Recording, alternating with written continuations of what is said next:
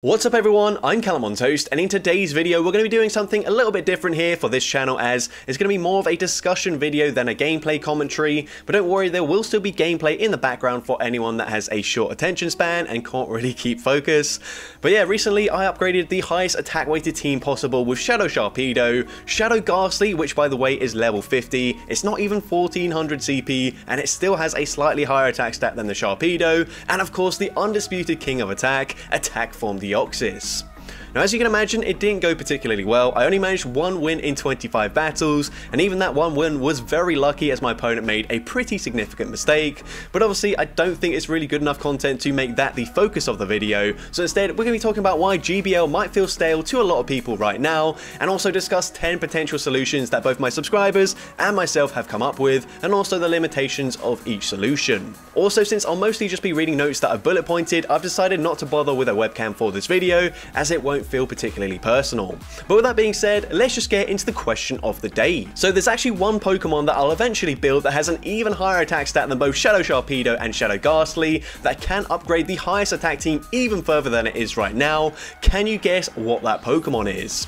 This Pokemon is currently available right now by the way and I am combining both base stats with the Shadow bonus so do take that into account. But anyways, with that being said, let's just get into the video. Now right off the bat, let's start by saying that GBL feeling stale is an opinion opinion, it's subjective. There might be some people right now that think GBL is in its most enjoyable state that it's ever been, and honestly with all the stutter lag and frame drops that are happening right now, that probably isn't the case, but maybe if we went back to about a month ago before these substantial issues arose, that might be the case. So just bear that in mind, it's an opinion, some people may agree, some people might not. So the reason that I think GBL feels a bit stale is because it just feels super repetitive, it feels like I'm battling the same Pokemon all the time, and regardless of the number of Pokemon that I use, which by the the way, I've got like over 500 Pokemon built just for the Great League, it doesn't really matter because I'm always facing up against the same Pokemon. Now if we look at the PvPoke rankings, anything around the 400 mark is actually pretty usable and can see some play, but you're just never going to see that much variety. You'd be very lucky to see even 50 different Pokemon in a full week rotation of the Great League. Now even when we have rotating leagues each week, new cups every couple of weeks, and depending on the cup, it can feel a little bit exciting, bring some new life into the game game for a brief period of time, but eventually it's still going to feel stale as the meta condenses and everyone starts to run the same things. So why is there such little variety? Well recently in a previous video for the question of the day I asked everyone what their main reason was for battling in the Go Battle League and a lot of people mentioned the Stardust or other rewards, some mentioned the long-term goal of hitting Legend or encountering a Pikachu Libre for the shiny chance, but surprisingly there weren't many people that said the main reason they played GBL was because they enjoyed battling and to me that is very concerning learning So we look at the more common answers of battling for rewards or battling to improve your elo. Both of those things are going to require you to win as much as possible. If you want to maximize your dust gains, you literally have to go 5-0 in a set. And obviously, if you want to hit legend or a leaderboard place or whatever your long-term goal is, you have to be very consistent. If you want to be as efficient as possible, you use the best Pokemon available. It's as simple as that. It doesn't matter if there are over 400 viable Pokemon. If you want to maximize your gains, you stick to the best Pokemon available. So there lies the issue straight away. It's pretty obvious, but people are too afraid to run anything other than the top meta to achieve their goals.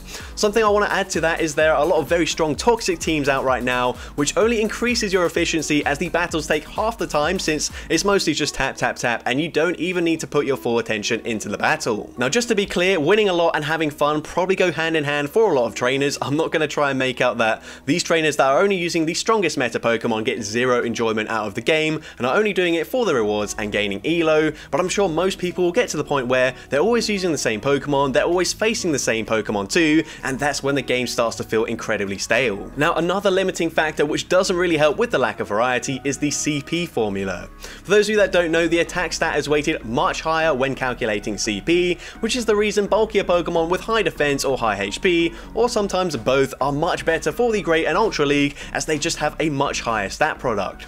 This immediately means that there are loads of Pokemon that are a massive disadvantage and basically need the best moves possible in order to compete with the Pokemon that are much bulkier. So what are the potential solutions? The obvious thing here is to increase the variety of Pokemon being used in the Go Battle League, but that is much easier said than done. Recently I also asked in a question of the day what is the number one thing Niantic should do to encourage more variety in the Go Battle League, and the truth is there isn't just one solution. There isn't one single change that's going to fix everything. I think multiple of these suggestions from my subscribers need to be implemented together in order to make a significant change, but here are some of the things people suggested, as well as my own ideas and thoughts. So for solution number one, this person suggests banning more Pokemon in the Remix Cups because whilst yes, the Great League Remix was quite refreshing at first, there are a few Pokemon like Gligar, Poliwrath, Annihilape, Mantine, Mandibuzz, Steelix, Carbink, Dewgong, etc. that are all pretty common in the Open Great League and it would have been nice not to face those Pokemon super frequently. Now the issue is, and the Remix Cup is already proof of it, it doesn't really matter how many Pokemon you ban, a new meta will develop and eventually it will condense and feel very repetitive. It might feel exciting and refreshing in those first few days, but after a while it will get stale. So this kind of moves smoothly into solution number two, which is if Niantic ensures that each cup only sticks around for one week. I think the solution is pretty simple and it would help to prevent new metas from feeling stale. And I do want to add that I actually think the cups we've had this season have been much better than in previous seasons, but it hasn't really helped that we've had most of them for two weeks, sometimes alongside a Go Battle weekend where we can do up to 100 battles per day, two days in a row, so obviously by the time we get into week two, we're all very tired of it. Now for solution number three, this person has suggested we have a non-ranked system, and it's something that a lot of people have been asking for for a very long time. It would allow people to be much more experimental with their team selections without fearing they lose all their elo when their team doesn't perform well. The only thing I will say, and actually someone also mentioned this in a reply to their comment, but we've had many interlude seasons in the past where there is no elo, you just get to the max rank by winning a certain number of games, and people were still sweaty with very little experimentation. If there is a similar reward path for the ranked and non-ranked battles, a lot of people are still going to run stuff that's going to get them more wins and allow them to earn more Stardust, or more Pokemon encounters or items or whatever it is they're grinding for. If there is no reward system, then as we've already seen, since most people are playing primarily for their rewards, they're just not going to bother playing unranked battles. So again, in isolation, I don't think this is the solution, but in combination with a few other solutions that I'll be talking about later in the video, this certainly could help, and I would love to see this implemented. So for solution number 4, we've got this person suggesting guaranteed rewards for battling so that losing is almost as good as winning, so that it wouldn't be so discouraging running sub-optimal teams. Now in theory I like this idea but it would be very hard to implement since of course people could just run 10 CP Pokemon, lose every single game and get nearly as good rewards as everyone else with no effort at all. Not to mention that for everyone that wants to legitimately play, half the games would be against opponents intentionally losing, which also wouldn't be fun. So in theory, a really cool idea but almost impossible to implement. So this next suggestion tackles the same sort of problems as the previous, but I think this is just a lot more effective. This person suggests rewarding extra Stardust for using Pokemon outside the top 100, and I think this is actually really cool. You just need a way to define the top 100 Pokemon. If it's based on usage, then when selecting Pokemon, maybe just have a symbol to show which Pokemon is or isn't in that top 100 range. But again, in what time frame would they use? Because if it's live usage, I think that'd be quite difficult to implement, and if it's usage from say the previous season, like we've seen with Remix Cups, it doesn't really factor in any Pokemon that receive buffs, so again, whilst I really like this idea, I think it kind of just depends on how they implement it. So this next person is suggesting making more moves viable, and I'm going to group that with giving Pokemon new moves because they are pretty similar, and sure, it seems like the obvious thing to do, but it kind of is something that Niantic is already doing each season, they're probably just not doing it at the rate we need them to. So at the current rate, it might make 3 or 4 Pokemon substantially more viable compared to previous seasons, but that's just not really enough of a shake-up. I also see when people speculate changes they'd like to see, they'll mention, oh, well, we can't touch this move because X Pokemon will be way too strong, and that unfortunately makes things incredibly restrictive. So as an example, Yonkers recently made a video talking about how Niantic could improve each of the Eeveelutions, which I definitely would recommend you check out that video. I always really like his speculation videos because they are just quite creative. But anyways, there are certain moves like Frost Breath on Glaceon that he says you can't really touch that because Pokemon like Dewgong would be too strong, or buffing Confusion for Espeon would then make Cresselia even better. But I personally think Niantic could buff certain moves and then just remove them from Pokemon that would be too strong. And I'm not suggesting taking away moves that are already part of their recommended moves, as that is directly nerfing those Pokemon, but instead, for something like Frost Breath, literally not a single Dewgong is running Frost Breath, so I see no harm in taking it away from Dewgong's move pool. For solution number 7, and this is also related to moves, I want to emphasize more giving stronger moves to Pokemon that are more attack weighted to even the playing field.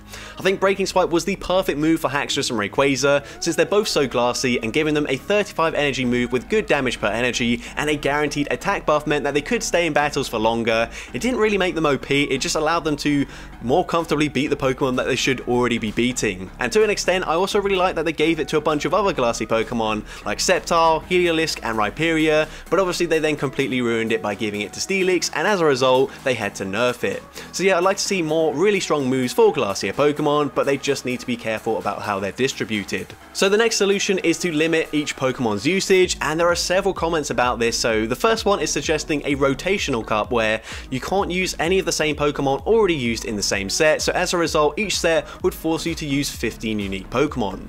And I don't really mind this idea, I actually will borrow it for one of my solutions, but whilst I want to encourage more variety, I don't think forcing people to change their team every battle is the best solution. The other suggestion is to make it so that we can only use a certain Pokemon 5 times per day, and you get a similar result where people are going to have to use at least 15 different Pokemon per day, but again, whilst it would encourage a bit more variety from an individual's perspective, it isn't necessarily going to broaden the variety that we see in the meta, as everyone could end up using the exact same 15 Pokemon over the course of a day. So finally we make it to my solution, and again I want to stress that in isolation this probably still won't be enough to encourage the variety that I'd like to see, but in conjunction with a few other solutions that I've already listed, I think this could be very promising.